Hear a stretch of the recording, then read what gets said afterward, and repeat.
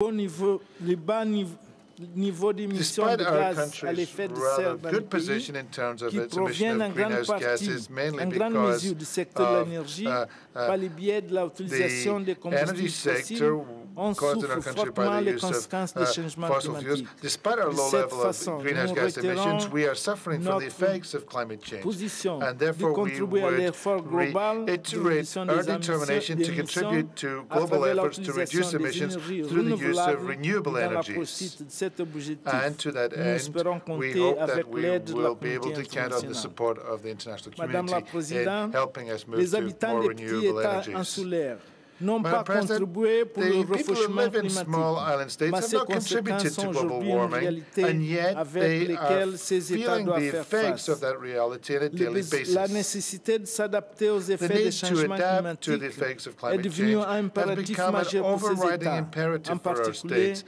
pour in les pays particular en for développement en small, général. uh, uh, Dans ce sens, developing nous espérons que general. cette conférence de Copenhague Therefore, it is prenne hope des that this mesures Copenhagen claires pour conference will surmonter tous les, measures obsta- to tous overcome les all the obstacles pour un vrai transfert de technologie vers les pays en genuine développement, technology transfer to permettant des countries. mécanismes plus efficaces des moyens financiers leading actifs to more soient effective institués pour mechanisms promouvoir and l'accès de ces financial pays resources à des to technologies écologiquement rationnelles increase our et access to adaptées à environmentally sound réalité. technologies uh, geared to Madam our President, national realities. The challenges before this conference are complex, but you believe they are within our reach.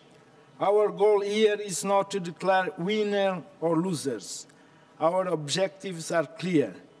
We need sustainable solutions for urgent problems in order to ensure the very existence of humankind. Let's go back to our countries, celebrating a safer and more equitable future. That's the best investment you can make to prevent wars, and surely the most appropriate way to contribute to peace between nations. I thank you, Madam.